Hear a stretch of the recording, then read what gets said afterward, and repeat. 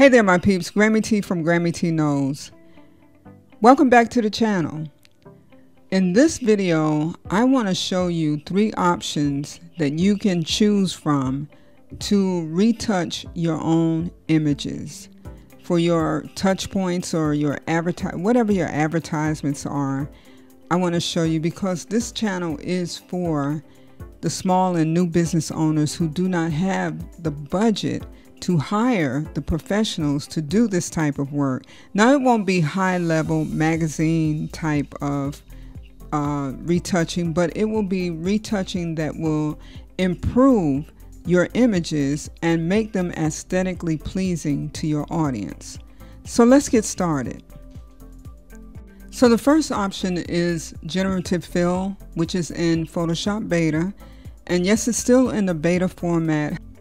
However, Photoshop will be releasing it at some point and hopefully sooner than later. So let's get started. So the first thing you want to do is click on here to open up the file. Find your file. Click on the image that you want to work on and click open. And by the way, I learned this method from PS Desire. Uh, he always has really nice tips and tricks on his channel. And of course, whenever I learn something that I believe can enhance my new and small business peeps, I want to pass it on to you. So next, we're going to access our quick mask button. Click on that, then come up to edit, come down to fill, and you want to make sure you're on color, and then come over here, make sure this is your your um your gray percentage is 30%. So then you would click OK and make sure it's on 30. Sometimes it's not going to necessarily be there. So then you would click OK. Click OK here. And now you want to turn that mask off. And you're going to come down to generative fill and you're going to type these prompts. Skin smoothing, comma, space, then skin lighting, comma, space. And the last prompt will be skin toning. And then you're going to generate. And let's see what this option gives you. So this is your first option. And here is your second option. But it's kind of changing how she's looking, which is quite interesting. And here is your third option, which is um, which is affected her features even more.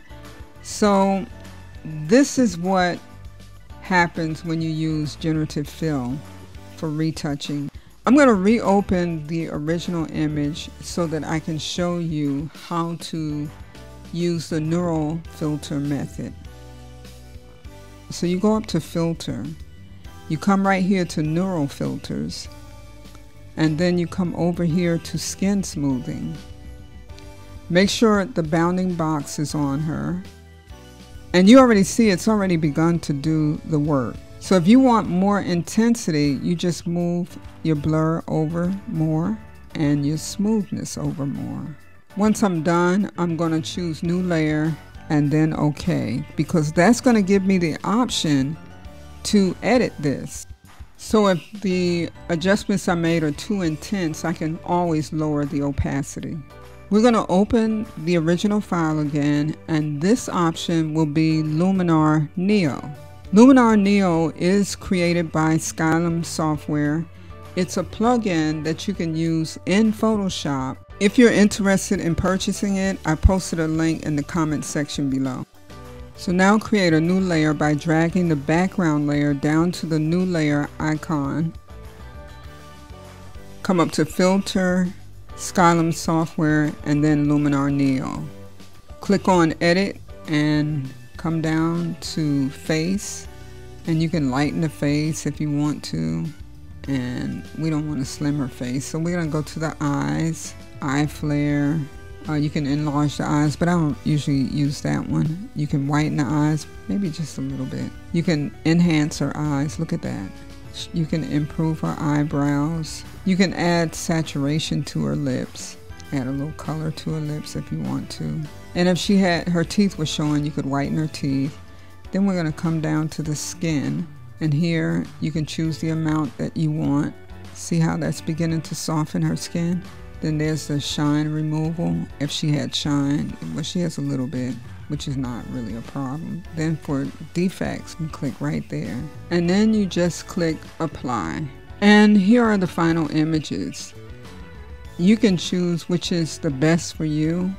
I personally think that the neural filter did the best job of cleaning up the image. However, you get to choose based on what best fits your needs for your company. And as always, I hope this video has been beneficial to you. And if it has been, please like, comment, share, subscribe.